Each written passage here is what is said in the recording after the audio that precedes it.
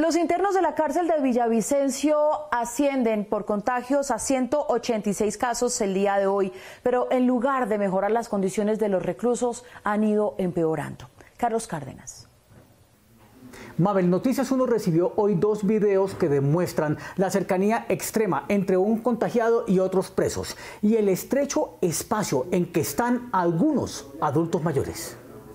El gobernador del Meta, Juan Guillermo Zuluaga, informó esta tarde que el número de contagiados de COVID-19 en la cárcel de Villavicencio ascendió a 186. Hoy, internos de ese centro penitenciario grabaron este video denunciando que algunos de los presos que presentan síntomas de coronavirus en ese establecimiento no han sido aislados y permanecen en sus alojamientos con otros que aparentemente están sanos. Hay un interno que le hicieron la prueba del COVID-19 hace ocho días. Fiebre, escalofrío. Tiene fiebre, los pulmones, dolor de cabeza. El interno convive con otros siete en una celda sin el aislamiento recomendado de dos metros entre cada persona. Tenemos dolor de cabeza, fiebre, nos hemos perdido el olfato y todo eso hemos... Dolor en la pecho también.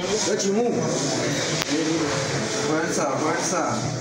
Fuerza, papá, fuerza que Dios lo va a salvar. La cárcel de Villavicencio, que originalmente tuvo cupo para cerca de 900 internos, tiene hoy 1.776 privados de la libertad.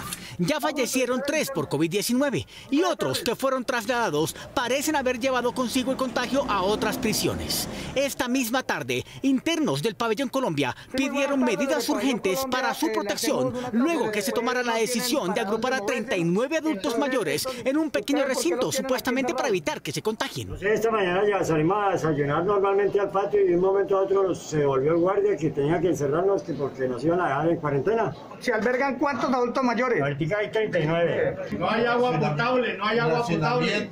La mayoría de estos internos padecen enfermedades que los hacen vulnerables al COVID-19. Siendo hoy el día 26 de abril a las 2.41 en el establecimiento del, del Villavicencio Meta, Pabellón Colombia, son personas con eh, insuficiencias renales, son, son, son internos con diabéticos, cáncer, hipertensos.